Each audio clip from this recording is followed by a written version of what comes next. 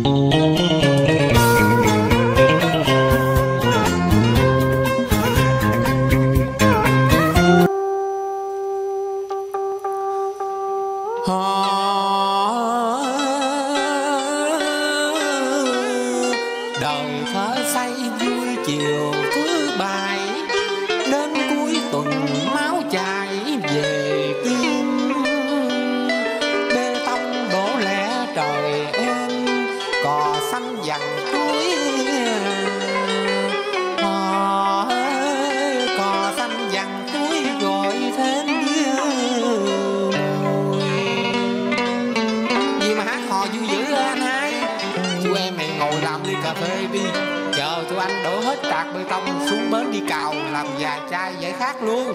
Dạ nhậu thì dở chứ mở mồi em là số một. Chị Sáu mang ly cà phê còn nhỏ Từng giọt ti tách hương. Cà phê thơm Nào lòng lữ khách, tôi chưa kịp thưởng chút gì. Ngon Thì công việc của mấy anh cũng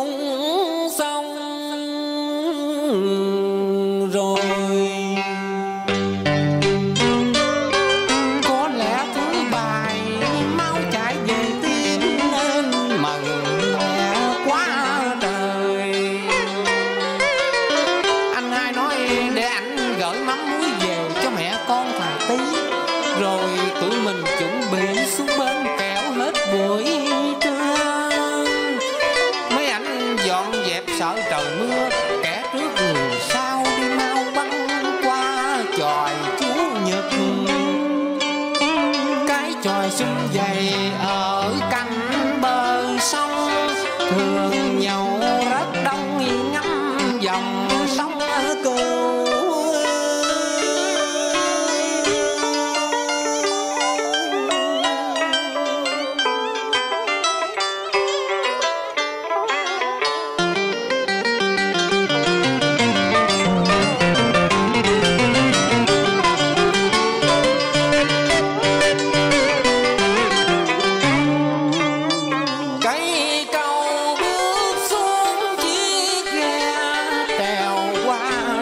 fire.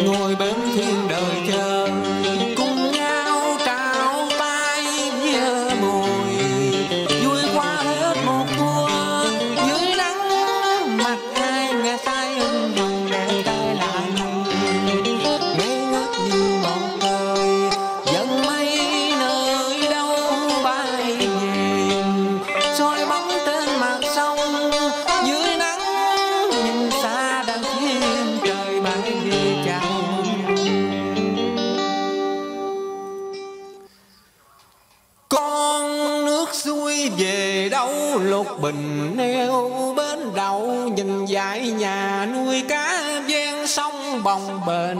Trong gió lòng nước vẫn trôi, nhà vẫn neo đậu